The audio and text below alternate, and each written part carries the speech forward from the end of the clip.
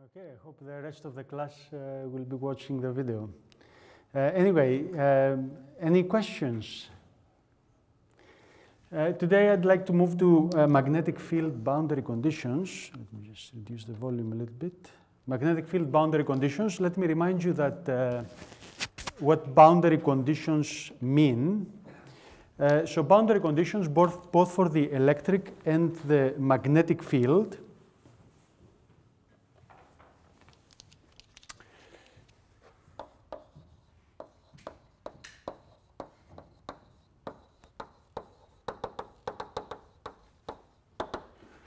determine how the electric and the magnetic field changes uh, across the interface between two media. So boundary conditions determine how electric and magnetic fields change. So electric field, uh, electric flux density, magnetic flux density, magnetic field intensity change across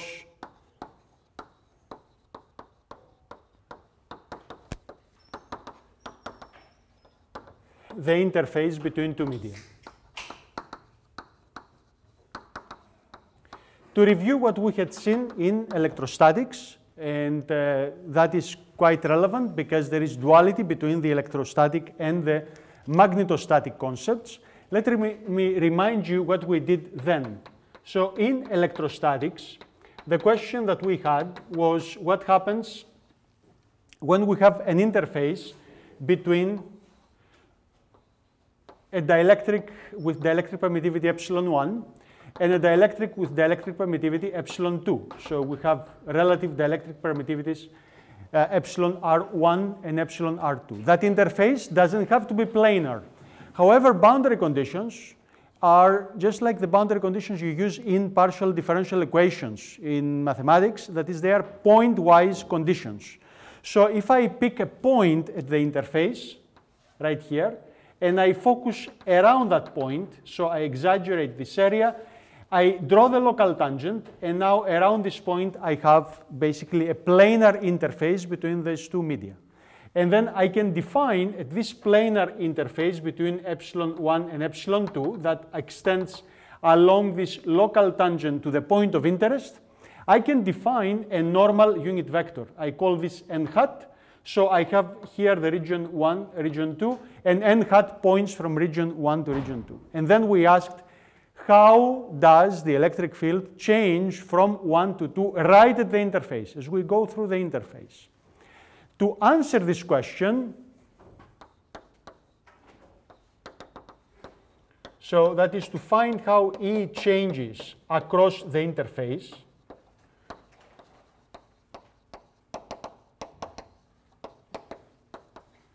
we invoked the uh, fundamental uh, postulates of electrostatics. And we said, let's apply first Gauss's law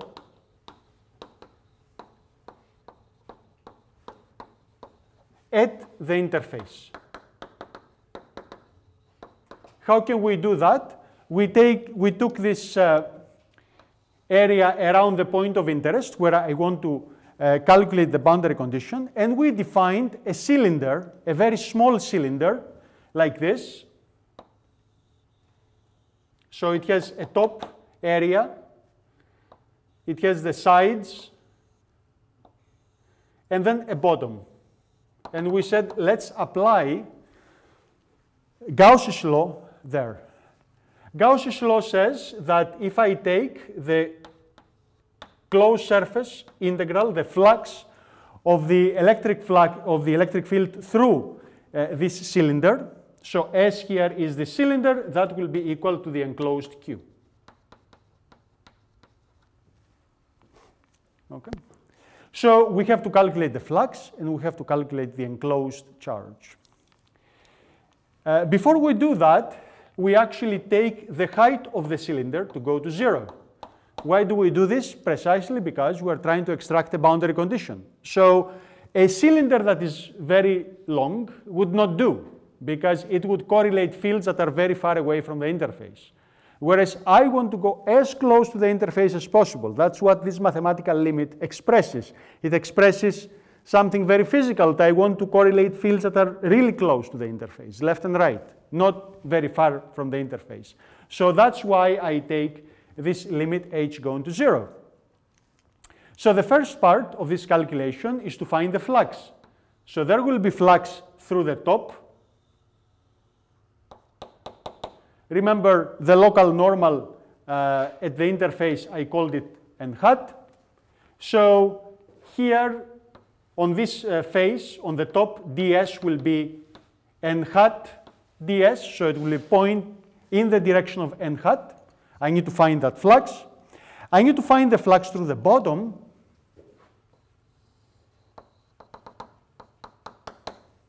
In this case, for the uh, bottom face, ds now you remember those uh, flux uh, integrals, when we have this ds in Gauss's law, always points outwards from the surface that you considered. Okay, so at the bottom, it will be not pointing in the direction of n hat, it will be pointing in the direction of minus n hat. So now this is minus n hat ds. And then I have the flux through the sides, which, however, will go to zero because I'm letting uh, the side surface go to zero. So basically here, the flux through the cylinder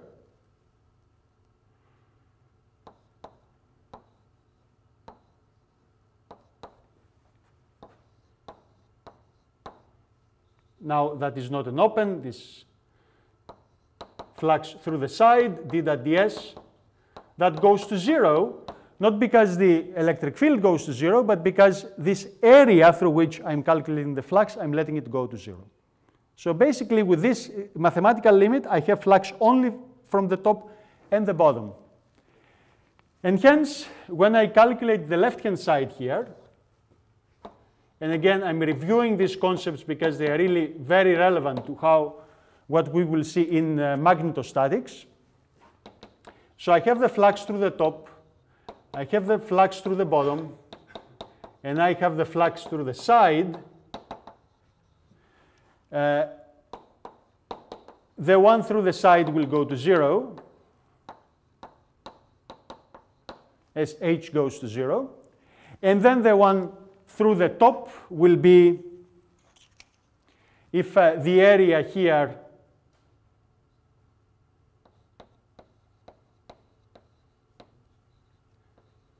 is A, and the area here is A as well, the top and the bottom. The cylinder is, uh, has uniform cross-section of area A. Okay? So then the flux through the top will be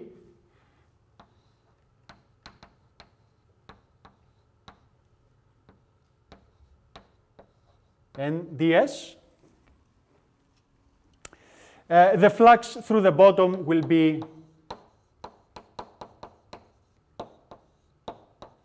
minus NDS. You see that the top is in region 2. So I call this, flux, this electric flux density D2. I call this electric flux density D1 because the bottom is in the first medium.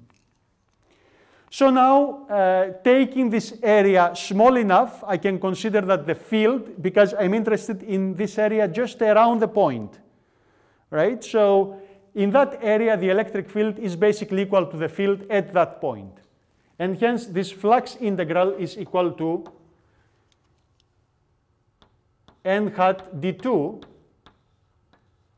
times the area, A, and this one is equal to minus n hat d1 times the area. So I have out of this n hat d2 minus d1 times the area A of the cylinder.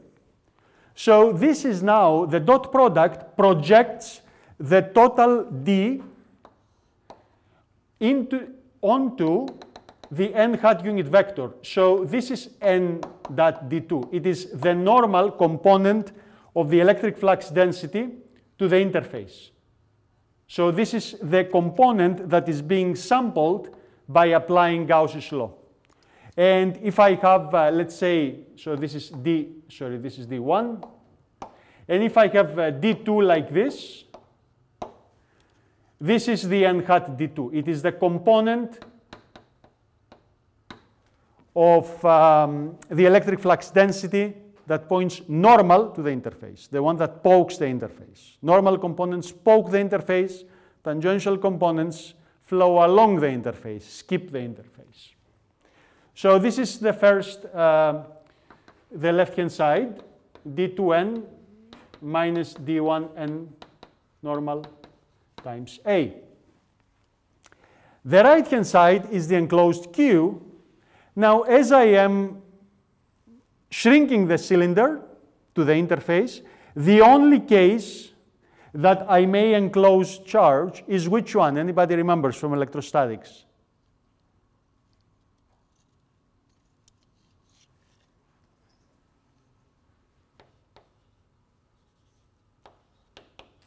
So Q enclosed.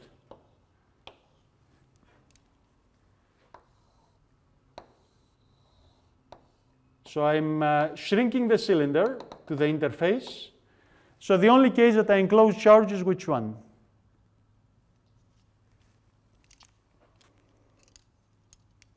Is if there is surface charge on the interface. That's the only one.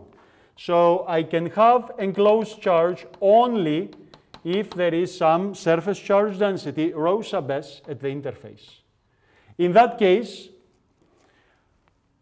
the Q enclosed will be rho sub s times the area A. Again, I'm not, I don't need to define rho sub s as a function of x, y, z because I'm deriving conditions that hold at one point at the interface. So that point is where you evaluate rho sub s and all those fields. So now if you let the left-hand side be equal to the right-hand side, we get this first condition, d2n is equal to, uh, sorry, minus d1n is equal to rho sub s. One of the conditions that we also asked for in, the, in uh, your midterm. And uh, that tells you that the electric flux density can only be discontinuous across an interface if there is surface charge density. And therefore, if this is an interface between two pure dielectrics, the rho sub s will be zero because rho sub s is free surface charge density. If you don't have free charges, in dielectrics there are no free charges, all charges are bound to their nuclei, then also there won't be any charge density either. So for a dielectric-dielectric interface, So interface between two insulators, rho sub s will be zero, and this condition becomes a condition of continuity that d1n is equal to d2n. So if we replicate now this uh, uh, process for magnetostatics, so now I stop here, I won't go to the second condition in electrostatics, and I will switch to magnetostatics for Gauss's law. So in magnetostatics, Gauss's law says that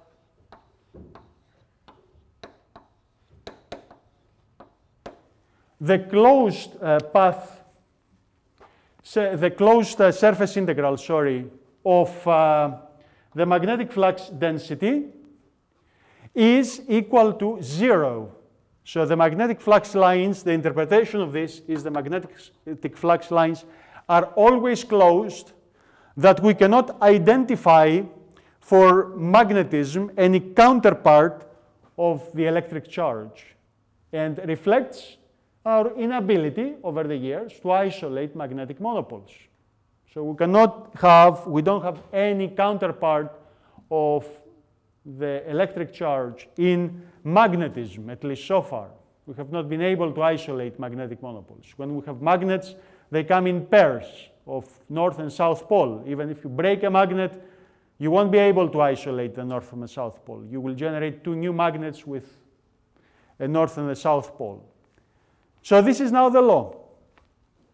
Now look at this process. That we applied for the same law in electrostatics. Think about what would happen if we replaced D with B, the electric flux density with the magnetic flux density.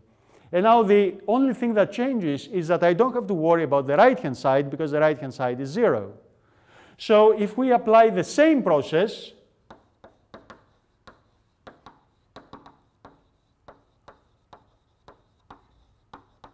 we end up with the condition that n hat that b2 minus b1 is 0. So now we have that the normal components at the interface between of the magnetic flux density are unconditionally continuous. So whereas in electrostatics, the electric flux density is only continuous if I don't have charge on the surface, in magnetostatics, the magnetic flux is always continuous normally to the interface. And um,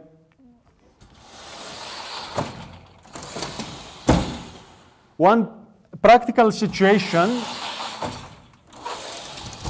where this condition uh, has a significant impact if is whenever you consider a conductor inside the magnetic field, a perfect conductor, a superconductor for that matter, inside a magnetic field. So before I give you, uh, before I continue to the second condition, let me do an example for this one.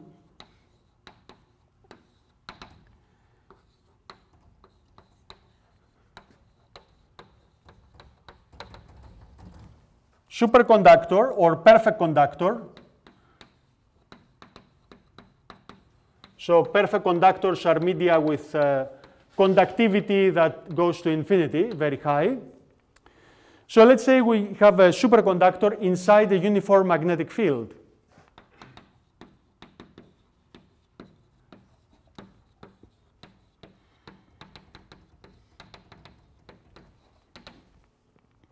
So for example, I have, uh, let's say, the magnetic field from uh,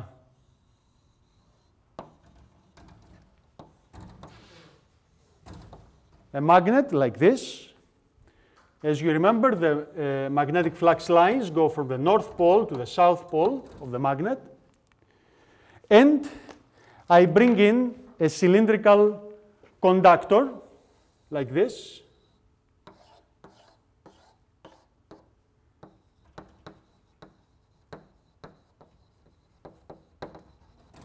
Superconductor. Conductors exhibit, we said yesterday, perfect diamagnetism.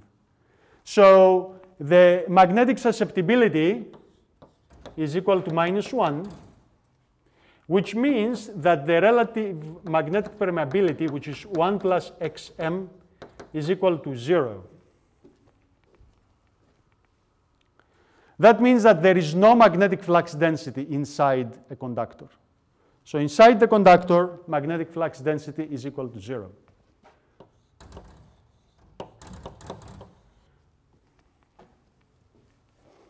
Okay. So what happens then if I put the conductor inside this uniform magnetic field? Let's uh, try to see what does this condition imply here. So I will exaggerate the magnet a little bit so that we can see it.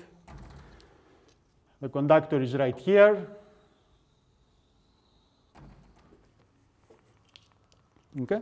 So a magnetic flux line that comes like this onto the conductor to impinge normally will be now subject to this boundary condition, which says that the normal component, this is the normal component, impinges at 90 degrees onto the interface, will have to be continuous across the interface.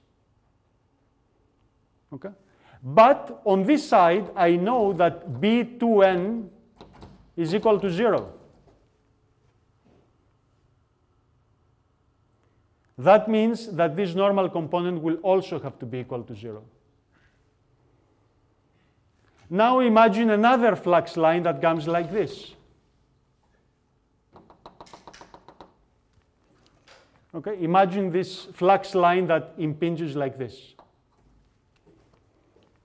You can now, because the magnetic flux you see outside the conductor impinges like this, you can analyze it into a tangential component and a normal component.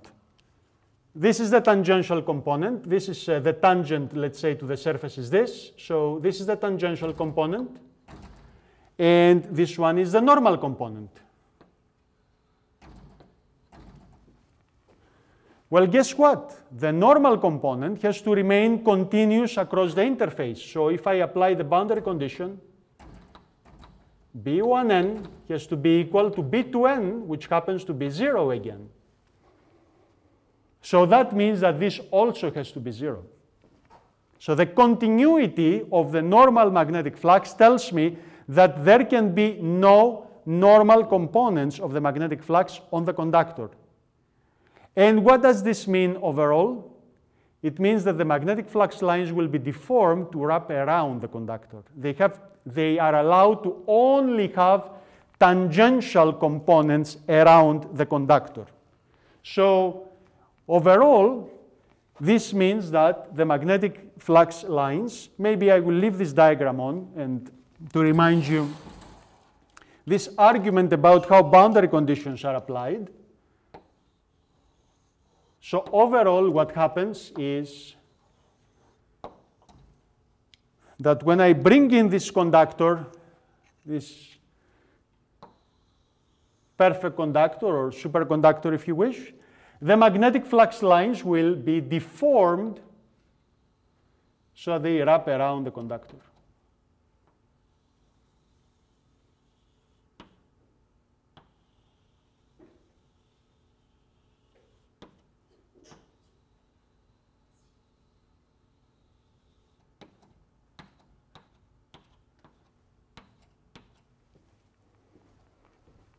So the continuity of these normal components combined with the fact that inside the conductor I cannot have magnetic flux density means that right outside the conductor the magnetic flux is not allowed to have normal components and therefore it has to wrap around.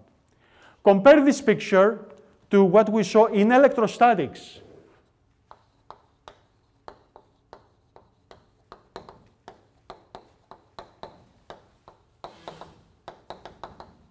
So what would happen if I had put this inside, let's say, a capacitor? So I have a capacitor here with an electric field that goes from the left to the right.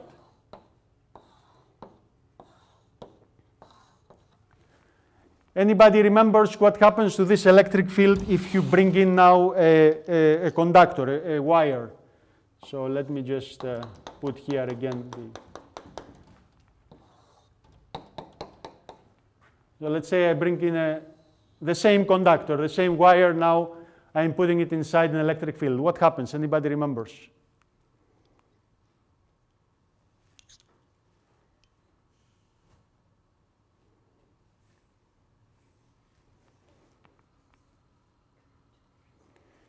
So the conductor is an equipotential surface. So an equipotential surface, electric field lines impinge normally. And uh, this will be the deformation of the electric field.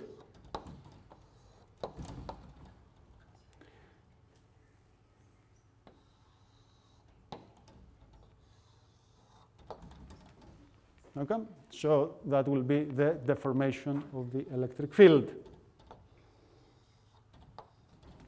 Okay, so compare the two pictures about electric uh, field lines and magnetic field lines uh, and the difference, right? So here the uh, electric field lines sink onto the conductor. That means that there is a surface charge density, negative on this side of the conductor, positive on this side of the conductor. We had, I had drawn this picture just like yesterday.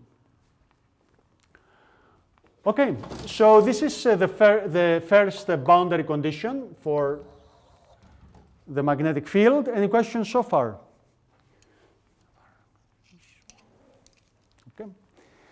Uh, so now I go to the second boundary condition. I, I will follow exactly the same, um, exactly the same methodology. That is, I will remind you what we did in electrostatics, and then I will try to apply the same principles in magnetostatics.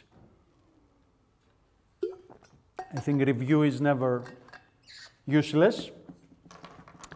Uh, so the second fundamental postulate in electrostatics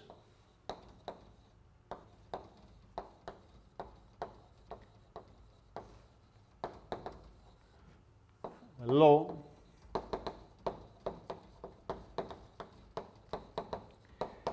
is that the electric field along a closed path, the electric field integral along a closed path is zero.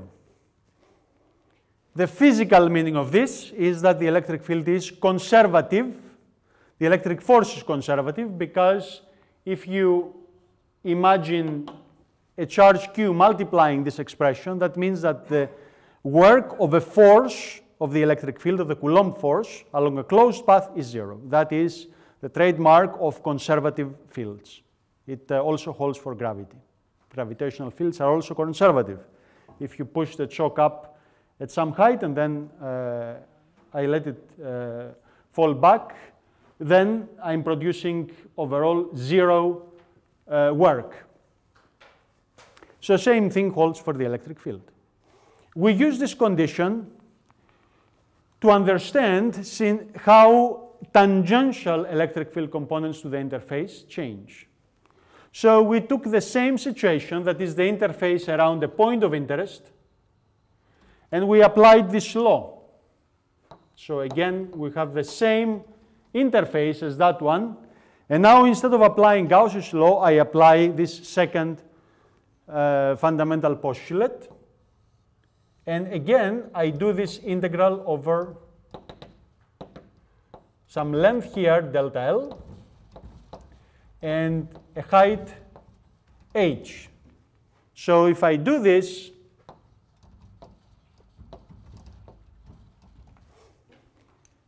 E dot dl along this closed path has to be equal to zero. So let me take it uh, step by step.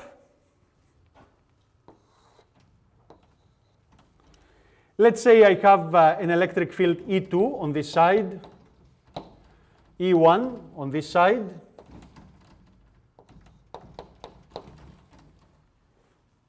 That means the electric field E1 will have a component, sorry, E2 will have a component that is normal to the interface and one that is tangential to the interface. I call this, I call this E2T. And same thing with E1, one component normal to the interface that pokes the interface and one that is parallel to the interface, and I call this E1T. And now I do this integration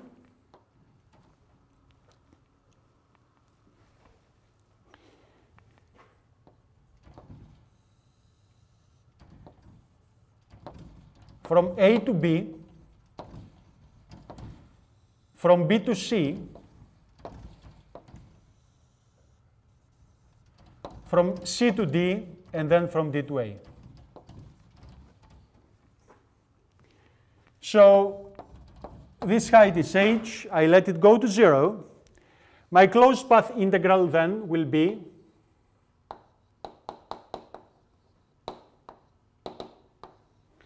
integral from a to b e dot dl plus integral from b to c plus c to d plus d to a e dot dl. But now I let again h go to 0.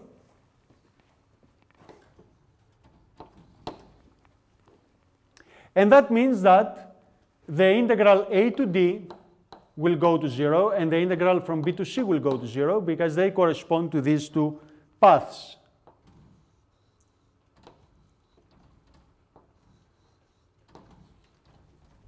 So we can agree that as I shrink this segment to zero, those integrals will go to zero. And that leaves me with only a to b and d to c. a to b, you see, is along the direction of this component, and it is normal to this component. So therefore, the a to b part is basically equal to the tangential component of the field on the second side times the length, delta L. Along DC, you see I'm moving opposite to the direction of the tangential electric field on the first side. So that will give me minus E1 comma T delta L. So that gives me E2T minus E1T delta L. That is equal to zero, the law tells me. And hence we have the second condition, which is the continuity of tangential electric fields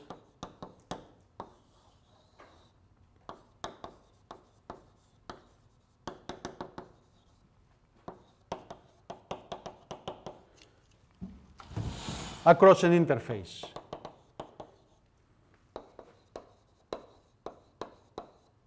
So this is similar to the continuity of the magnetic flux because it is unconditional. No matter what, if you have a resistor and you measure the voltage to the left or to the right, you will find exactly the same thing. The tangential electric field that gives rise to the voltage remains continuous across this interface, which you don't appreciate as a very important interface, but it is an interface between air, the medium of the uh, resistor, so it is a material interface that involves actually two sides uh, and uh, two media.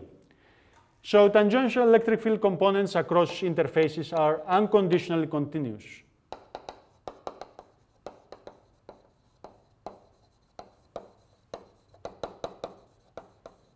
In fact, it is this condition that gives rise to this picture because now we cannot have the inside the conductor the electric field is zero so therefore, the electric field now cannot have tangential components on the conductor because the continuity says that those components have to be zero because on the other side, the electric field is zero. So therefore, we have now the dual picture. In the magnetic field case, the magnetic flux cannot have tangential components. In the electric case, the electric field cannot have, uh, sorry, cannot have normal components. The magnetic flux cannot have normal components. The electric field cannot have tangential components. So this is uh, what we had in um, electrostatics. In magnetostatics, though,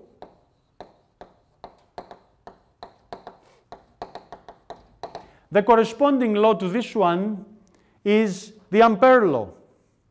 So Ampere law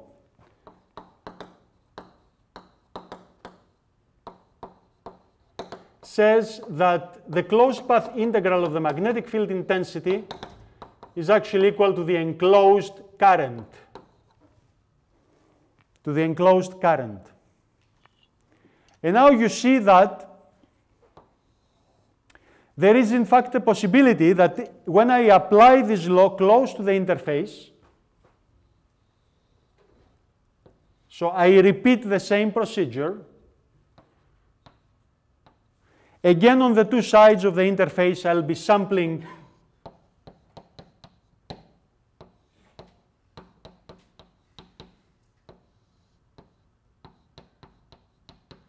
tangential components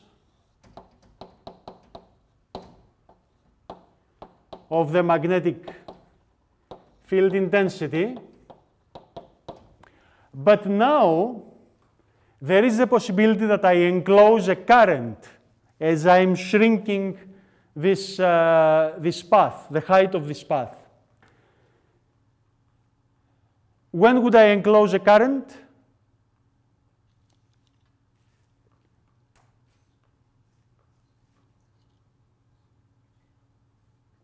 Yes. That's right, if there is a surface current density. So you see the duality between the electric and the magnetic cases. In previous case with the electric field, with Gauss's law, as we were shrinking the cylinder, the only case that we would enclose a charge would be if there is charge on the surface. Here, if there is current right on the surface. And uh, just to avoid any uh, issues with the sign, let's let there be a current density J sub S that goes this way. So in this way, the enclosed current would be J sub S at the interface times delta L. Remember that uh, the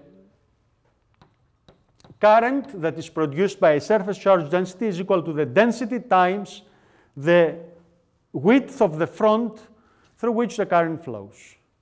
And hence this will be the enclosed current.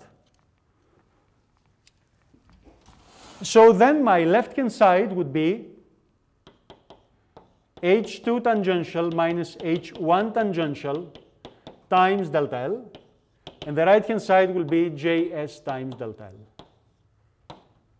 So that means that I have H2 tangential minus H1 tangential can be discontinuous if there is a surface current density. And likewise, with the electric case, if there is no surface current density, they will be continuous as well. So that is, um, now as you saw, I had to think about the direction of the current just to be consistent with the signs that are involved in the assumptions of Ampere's law. The, a, a rigorous way to write this same condition without having to worry about signs is this one. n hat cross h2 minus h1 is equal to j sub s. So this is actually a condition that is equivalent and you don't have to worry about which way does the current flow. So I have here a cross product, not a dot product like in Gauss's law, a cross product. So you see the electric and the magnetic cases uh, have similarities and some differences, some duality, I would say, uh, between the two cases. So to give you an example of such a case where there is a current,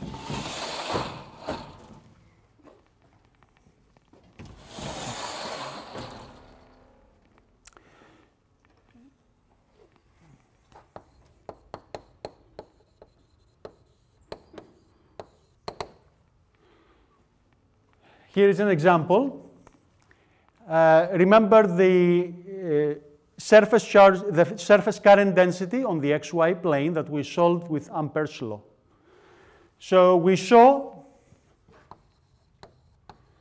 this example. You can uh, see it back in your notes. We solved it actually both with Ampere's law and with the Biot-Savart law.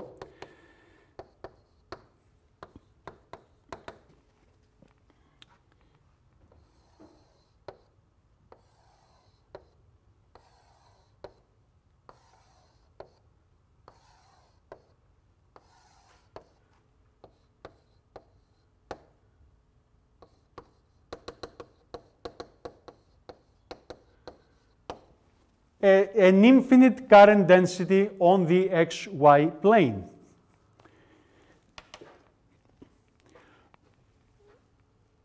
So a very um, convenient representation of a current density whenever you have problems with current density is from the point of view that the current flows towards you. So if I go from the point of view of the y-axis, and I draw the xz plane like this, so that the y-axis comes out of the board, then you see I have the current coming towards me. That is a very convenient representation of surface current densities. We found the, the magnetic field that is being produced by this uh, uh, surface current density. So we found that the magnetic field intensity is equal to x hat j s naught for z greater than uh, 0 and uh,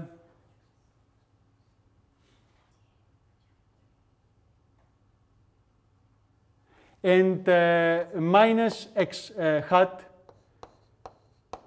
j s naught for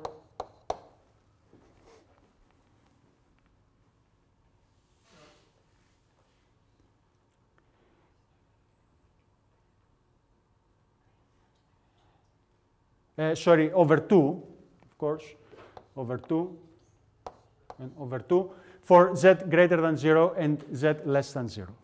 So this is what we found, uh, and we solved this problem twice with uh, the Biot-Savart law and with Ampere's law. So you can refer to your notes for this um, uh, solution. So I just wanted to use this example to confirm this boundary condition and show you how it would work as an example. So in this case, what I call n hat is a normal vector. That, so this is region 1, is a z less than 0. This is region 2. In fact, here it so happens that the two media are the same. There is no difference in the media. There is just a surface current density that separates the two. So the normal unit vector that points from region 1 to region 2 is which one? Anybody can guess what is this normal unit vector? Unit vector along the z-axis.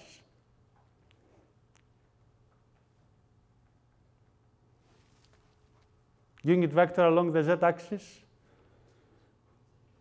The z hat, yes. Okay? So then this boundary condition would say what? It would say that z hat cross product magnetic field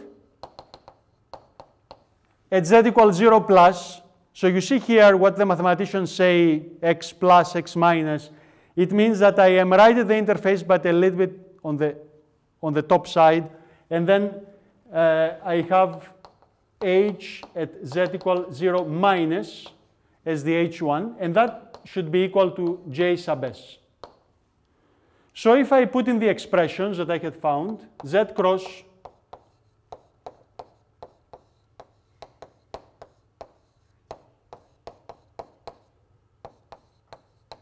not over 2. The surface current density is y, Js naught. Okay? z cross x is y,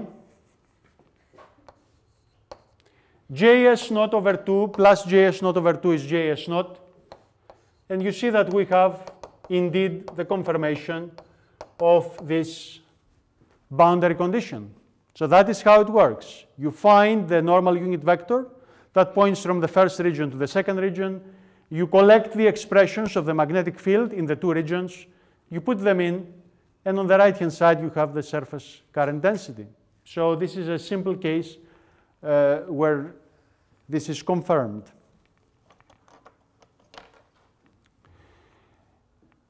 But there is also, uh, I'd like to just uh, close the lecture with a very practical uh, case where both of these boundary conditions are important. And um,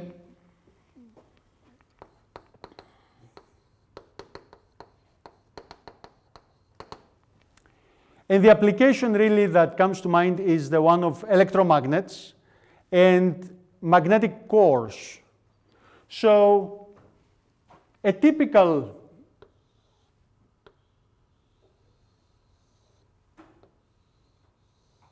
structure that is uh, being used for many applications, for example, to lift uh, uh, very heavy objects with an electromagnet, is when you have a coil, like a solenoid like this,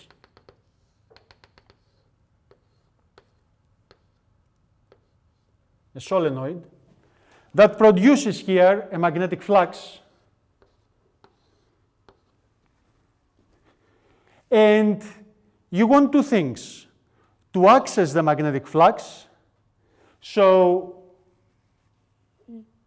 you, you, you want to, uh, for example, create a magnetic field that is very strong so that it applies a strong force to lift an object. So you want to concentrate this magnetic flux, and like we use wires for electricity, guide the magnetic flux somewhere far from the solenoid. Because I have the solenoid here, and I want to lift an object that is over there. I don't want to bring the solenoid always to the object. I want to guide it towards the object. So this is exactly what these materials are supposed to do. They are supposed to guide this flux like wires to the gap where you can have the object where you want to apply this magnetic flux. We are using for such cores high mu materials, so materials with magnetic permeability that is very, very high. Why do we do this? There are two, uh, there are two reasons. First of all,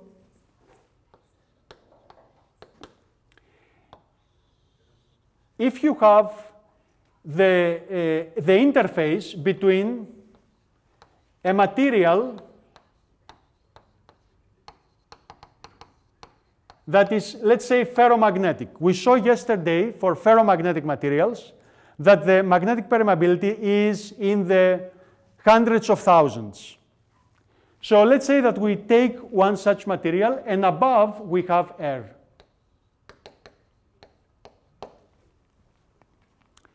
So let's say I take an electromagnet and I generate a magnetic flux inside this material. So I have this magnetic flux in the core.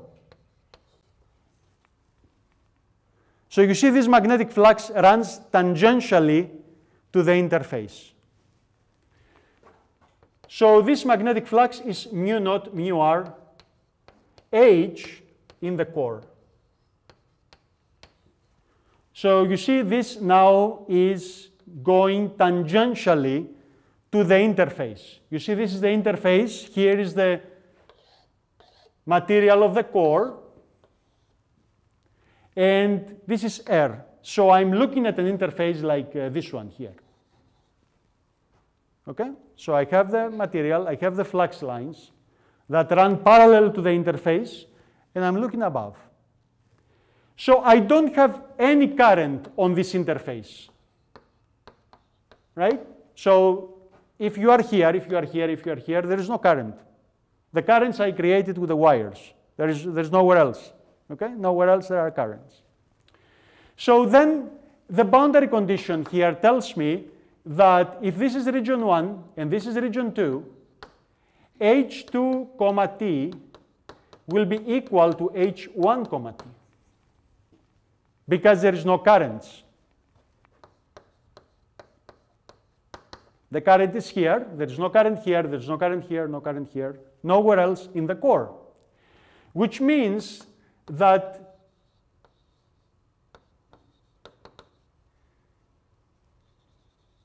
B2 tangential divided by the mu of the air, which is mu naught, will be equal to B1 tangential mu naught mu r. Okay.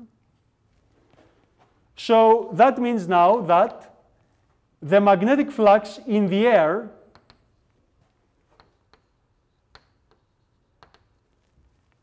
You see, because, I, because this uh, magnetic flux has no normal component, the outside flux will not have a normal component either. That is by the continuity of normal components. Okay, so the entire fluxes, both inside and outside, are tangential altogether.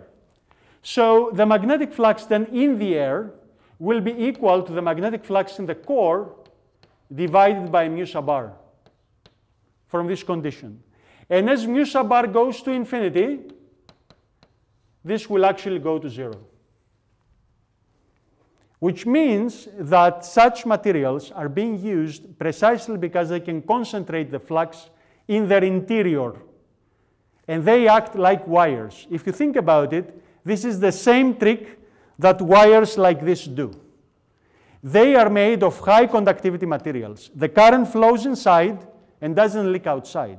Why? Because this is where the conductivity is. Outside in air, there is no conductivity, and therefore the current doesn't go anywhere. It stays within the conductor.